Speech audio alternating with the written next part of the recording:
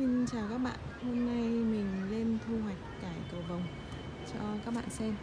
Cải cầu vồng là một uh, giống cây mà ăn rất bền cây Các bạn có thể tỉa xung quanh này để ăn. Và đặc biệt hơn nữa là cải cầu vồng ít sâu bệnh, rất rất ít sâu bệnh. Thì thỉnh thoảng lắm mình thấy có sâu uh, vẽ mùa.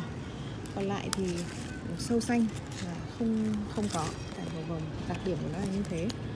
Và cải cầu vồng thì thu hoạch được rất là nhiều lần. Nên là đây là một cái cây mà mình đánh giá rất cao về năng suất cũng là sản lượng. Mình thu hoạch đã rất nhiều lần rồi phải đến ờ, 4 năm lần rồi. Mà đến bây giờ uh, cây vẫn tiếp tục cho thu hoạch.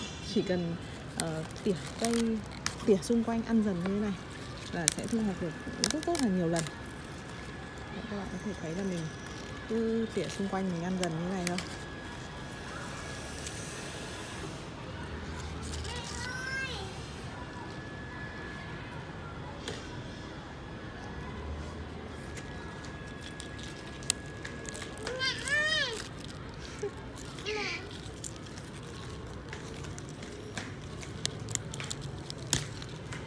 Mà cái vị rau của cái cải cầu vồng này ăn cũng rất là đậm rất là ngon. Thì mình rất là thích.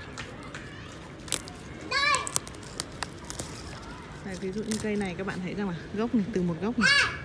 Ra hai thân này, hai thân lớn lên. Khi mà cái thân nó lớn lên nó thành hai cây